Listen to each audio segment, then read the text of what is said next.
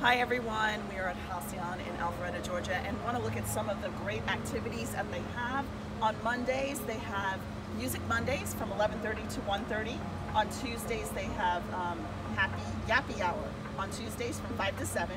On Wednesdays they have Discovery Days with the Kids Club from 10.30 to noon so anyone could come here, kids too. There's so many places to to have games and things like that.